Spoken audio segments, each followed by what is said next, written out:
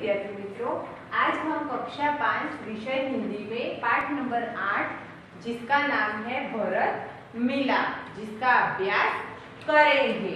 तो आगे हम सात पाठ देख गए और यह पाठ हमारे सेमिस्टर प्रथम का आखिरी पाठ है। उसके बाद नौवा पाठ हमारे दूसरे सेमिस्टर में आएगा। तो आज इस अंतिम चैप्टर का आज हम अभ्यास करेंगे। तो सबसे पहले हमारे पाठ का नाम दिया गया है भरत मिला। हम सब जानते हैं कि भरत राम, लक्ष्मण, कौन है भरत शत्रुघ्न? ये चार भाई थे और उनकी, ये चार भाई की तीन माताएँ थी। तो इसमें हम सब जानते हैं कि माता कैकई के कारण राम और लक्ष्मण और सीता को वनवास मिला था। वो तीनों वनवास में गए हुए थे। तो उस समय भरत अपने मामा के घर पर थे शत्रुघ्न और दोनों। जब उनको यह बात का पता चला तो तब वह आकर अपनी माता के साथ बहुत ही झगड़ते हैं।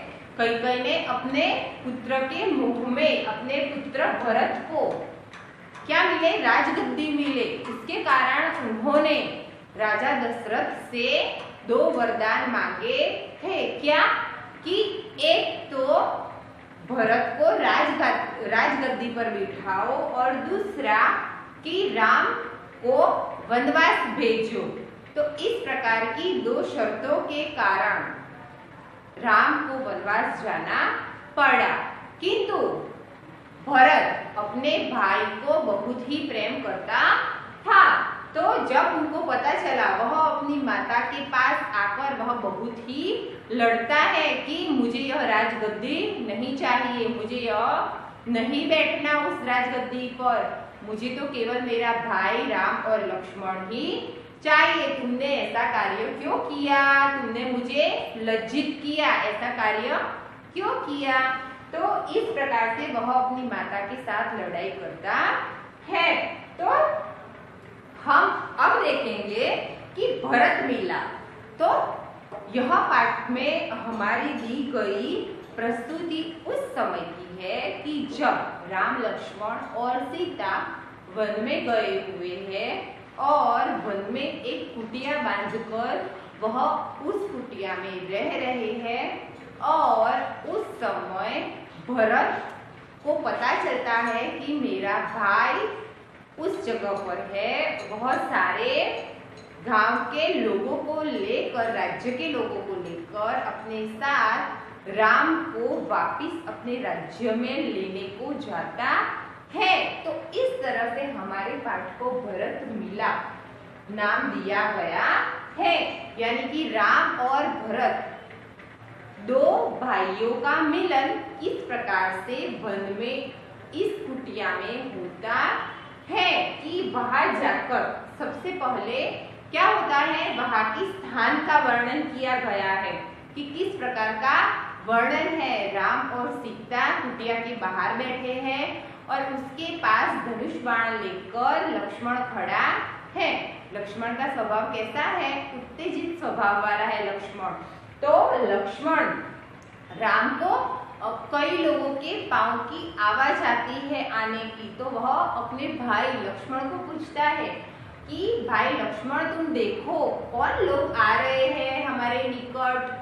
तो लक्ष्मण इधर उधर होकर देखता है और वह जोता है कि क्या?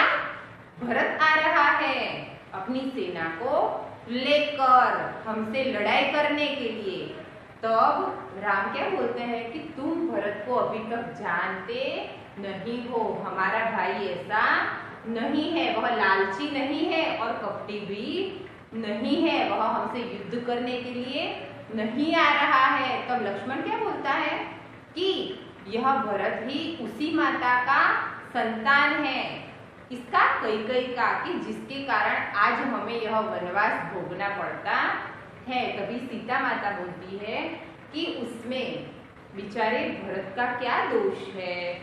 यह पहले दृश्य में हमें देखने को मिलता है। उसके बाद दूसरा दृश्य आता है कि जिसमें हमें उस प्रकार का दृश्य देखने को मिलता है कि राम बैठे हुए हैं भरत आते हैं। भरत की आँखों से आँसू बह रहे हैं और वह आते ही राम के पैरों में घिर पड़ते हैं और वह रोने लगते हैं कि भगवान राम, मुझे माफ़ कर दीजिए। मुझे इसमें मेरी कोई अनि, मेरा, मेरी कोई गलती नहीं है। मुझे राजगद्दी नहीं चाहिए। मैं आपको लेने के लिए आया हूँ। मैं और सारे राज्य के सभी लोग आपको लेने के लिए आए हैं कि आप चलिए और देखिए कि वहाँ चलकर कि आपके बिना राज्य कैसा सुना सुना हो गया है। आपको मेरे साथ चलना ही पड़ेगा। तो राम क्या बोलता है? कि मैं तुमसे गुस्सा नहीं हूँ। तुम तुम तो मेरे प्रिय भाई हो। लेकिन मैं इधर वनवास पूरा किए बिना राज्य में वापस नहीं लौटूँगा। क्यों? क्योंकि मेरे माता पिता की आज्ञा है। मेरे माता पिता के वचन के कारण ही मैं इस प्रकार से वन में आया हूँ। तो वनवास पूरा करके ही मैं लौटूँगा अपने राज्य में। तब तक राज्य का कारभार तुम्हें ही संभालना होगा। तो इस प्रकार से वह भरत को समझाता है। अंत में भरत मान जाता है और बोलता है कि आप मुझे अपने पाँव के खड़ाव दे दीजिए। मैं यह सिंहासन पर रखूँगा और जब तक आप नहीं आएँगे, तब तक मैं पूरे राज्य का कारभार संभालूँगा। अब हम देखेंगे पाठ। तो चलो हम देखते हैं कि दृश्य एक राम भाई लक्ष्मण जरा जरा देखो तो यह आवाज़ कहाँ से आ रही है तो क्या बोलते हैं राम कि लक्ष्मण देखो कि आवाज़ किधर से आ रही है लक्ष्मण इधर उधर देख कर प्रभु सामने से कुछ लोग आते दिखाई दे रहे हैं क्या बोलते हैं कि ऐसा लग रहा है कि सामने से कुछ लोग आते हैं। राम, कौन लोग है? जरा ध्यान से देखो। ध्यान से देखने को कहता है लक्ष्मण, ध्यान से। अरे, यह तो भरत है। साथ ही बहुत से लोग है। हमें सावधान हो जाना चाहिए। शायद वे लोग लड़ने के लिए आ रहे हैं। क्या बोलता है कि ध्यान से देखो देखो ये भरत आ रहा है, उसके साथ कई लोग हैं। हमें सचेत हो जाना चाहिए। शायद शायद यानी कि कदाचित।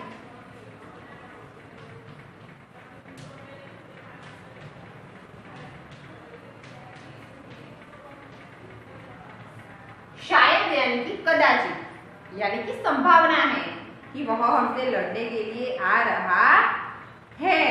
और दूसरा वह कहाँ पर रहते थे कुटिया। कुटिया यानी कि झोपड़ी। झोपड़ी में रहते थे राम, हँसते हुए। भाई लक्ष्मण, तुम तो बिना बात शक करने लगते हो। क्या बोलता है कि राम भरत तुम तो कैसे हो? कोई भी बात नहीं, बिना सोचे समझे कोई भी बात में शक करते हो शक यानी शंका। शंका करने लगते हो। फिर आगे, इतने वर्ष साथ रहकर भी भरत को नहीं पहचाना। इतने वर्ष हम साथ रहे, फिर भी तुमने भरत को पहचाना नहीं। लक्ष्मण उत्तेजित होकर, पहचाना क्यों नहीं? उसी माँ का तो बेटा है, जिसने वनवास दिलाया। लक्ष्मण क्या कहता है? कि हमने पहुंचाना क्यों नहीं? वो ही माँ का बेटा है, जिसके कारण हमें वनवास मिला है, सीता। इसमें बेचारे भरत का क्या दोष है? भरत का क्या गुना है उसमें? लक्ष्मण, लीजिए, सब लोग इधर ही आ रहे हैं। तो क्या बोलते हैं कि देखिए, सब लोग इधर ही नज़दीक में ही आ रहे हैं। इधर हमारे दृश्य का पहला पड़ाव खत्म होता है। फिर आगे दूसरा पड़ाव शुरू होता है, जिसमें दूसरे दृश्य में हम देखेंगे कि भरत दौड़ते हुए कुटिया के निकट आते हैं। उनकी आँखों से आँसू बह रहे हैं। निकट का अर्थ क्या होगा? निकट आते हैं। यानी कि नज़दीक।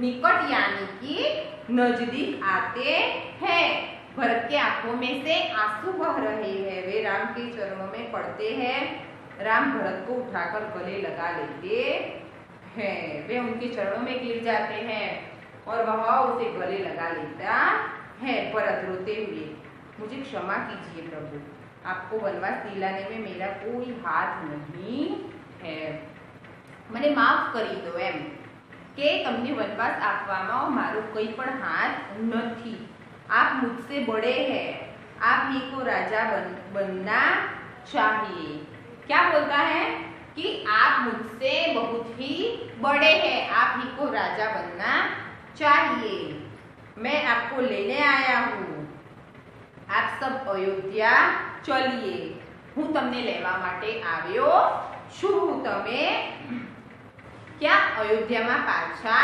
चालो इन नगरवासियों को भी यही इच्छा है। इन नगर वासियों की भी यही इच्छा है कि आप मेरे साथ अपने राज्य अयोध्या में वापिस चलिए। निराश न कीजिए प्रभु।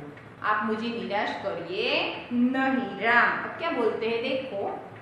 भाई भरत मैं तुम्हारा प्रेम देखकर प्रसन्न हूँ। क्या बोलता है? कि भाई भरत मैं तुम्हारा प्रेम देखकर खूब प्रसन्न हूँ। किंतु मैं माता पिता की आज्ञा का पालन करने हेतु वन में आया हूँ। माता पिता के एक, आज्ञा के कारण उनके दिए गए क्या? आदेश के कारण मैं वन में आया हूँ। वनवास पूरा कर, करके ही लौटूँगा। मैं वनवास पूरा किए बिना वापिस नहीं लौटूँगा। एक नागरिक जो आए थे, उनमें से एक बोलता है कि, नहीं प्रभु आपको हमारे साथ चलना ही होगा, कि प्रभु आपको मेरे साथ चलना ही होगा। आपके बिना प्रजा दुखी है, प्रजा को सुखी रखना राजा का कर्तव्य है। प्रजा को सुखी रखना राजा का कर्तव्य है। कर्तव्य यानी कि फ़र्ज़। एक राजा का फ़र्ज़ होता है, अपने प्रजा की सुख शांति का ध्यान रखना। राम। नगरजनों इस समय माता पिता की आज्ञा का पालन करना मेरा सबसे बड़ा कर्तव्य है। नगरजनों को क्या बोलता है राम? कि इस समय मेरा सबसे बड़ा कर्तव्य मेरी माता पिता की आज्ञा का पालन करना है। भरत मेरा भाई है। जब तक मैं वनवास पूरा करके न लौटूं, तब तक तब तक भाई भरत, आप सबके सुख दुख का ध्यान रखेगा।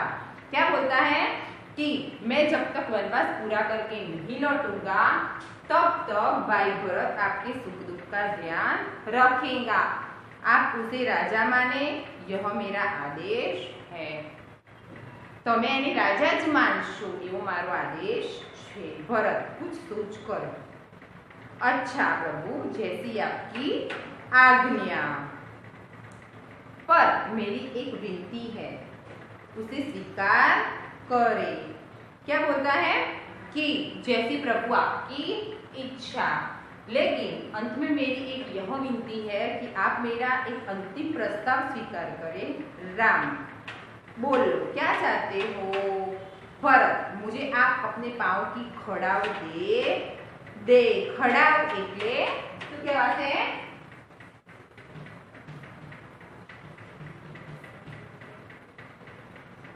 लकड़ी की बनी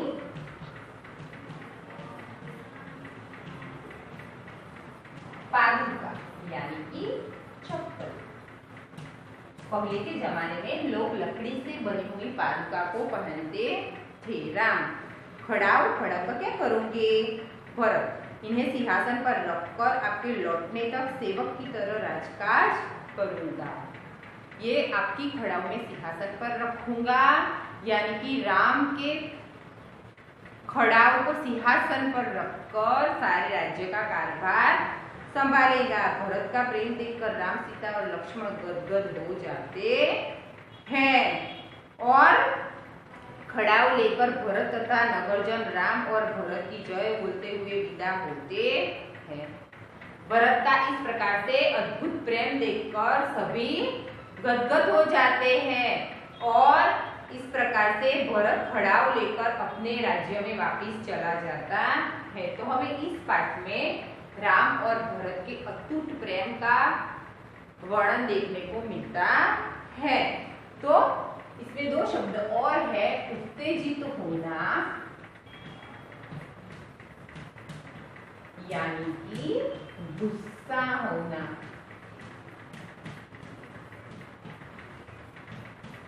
फिर दूसरा है गोले लगाना। प्यार से मिलना।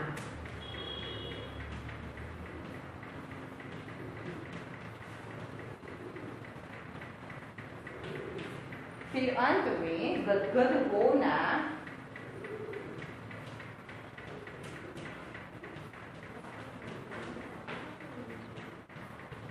पुलकित होना।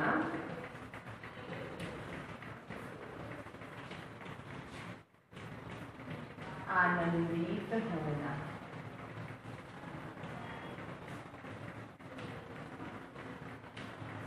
तो इस प्रकार से इस पाठ के यह सारे शब्दार्थ हैं। तो आप इस सारे शब्दार्थ को दो दो बार लिखना इस पाठ के प्रश्नों को मैं अपने मोबाइल से फ़ोटो क्लिक करके आपको भेज दूँगी। तो वह प्रश्न भी आप लिखकर तैयार करना। ये शब्दार्थ दो दो बार होमवर्क में लिखना। और इस वीडियो के अंत में मैं आपको इस पाठ की छोटी सी स्टोरी भी दिखाऊँगी, वो सब भी आप देखना। आगे का अभ्यास हम अगले वीडियो में करेंगे। गुड मॉर्निंग विद्यार्थी मित्रों। ये सब लिखना।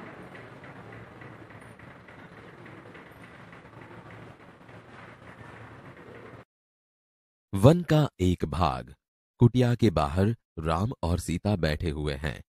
पास ही धनुष बाण लिए लक्ष्मण खड़े हैं। भाई लक्ष्मण जरा देखो तो आवाज़ कहाँ से आ रही है? प्रभु सामने से कुछ लोग आते दिखाई दे रहे हैं। कौन लोग हैं? जरा ध्यान से देखो। अरे यह तो भरत है। साथ ही बहुत से लोग हैं। हमें सावधान हो जाना चाहिए। शायद वे लोग लड़ने आ रहे हैं। भाई लक्ष्मण तुम तो बिना बात शक करने लगते हो। इतने वर्ष साथ रहकर भी भरत को नहीं पहचाना। पहचाना क्यों नहीं? उसी माँ का तो बेटा है जिसने वनवास दिलाया। इसमें बेचारे भरत का क्या दोष? लीजिए सब लोग इधर ही आ रहे हैं। भरत दौड़ते हुए कुटिया के निकट आते हैं। उनकी आँखों से आँसू बह रहे हैं। वे राम के चरणों में पड़ते हैं। राम भरत को उठाकर गले लगा लेते हैं। मुझे क्षमा कीजिए प्रभु। आपको वनवास दिलाने में मेरा कोई हाथ नहीं। आप मुझसे बड़े हैं। आप ही को राजा बनना चाहिए। मैं आपको लेने आया हूँ। आप सब अयोध्या चलिए। इन नगरवासियों की भी यही इच्छा है। निराश न कीजिए प्रभु। भाई भरत मैं तुम्हारा प्रेम देखकर प्रसन्न हूँ। किंतु मैं माता पिता की आज्ञा का पालन करने वन में आया हूँ। वनवास पूरा करके ही लौटूँगा। नहीं प्रभु आपको हमारे साथ चलना ही होगा। आपके बिना प्रजा दुखी है। प्रजा को सुखी रखना राजा का कर्तव्य है। नगरजनों, इस समय माता पिता की आज्ञा का पालन करना मेरा सबसे बड़ा कर्तव्य है। भरत मेरा भाई है। जब तक मैं वनवास पूरा करके न लौटूं, तब तक भाई भरत आप सबके सुख दुख का ध्यान रखेगा। आप उसे राजा माने। यह मेरा आदेश है। अच्छा प्रभु जैसी आपकी आज्ञा, पर मेरी एक विनती है, उसे स्वीकार करें। बोलो क्या चाहते हो? मुझे आप अपने पाँव की खड़ाऊ दे दे। खड़ाऊ? खड़ाऊ का क्या करोगे? इन्हें सिंहासन पर रखकर आपके लौटने तक सेवक की तरह राजकाज करूँगा।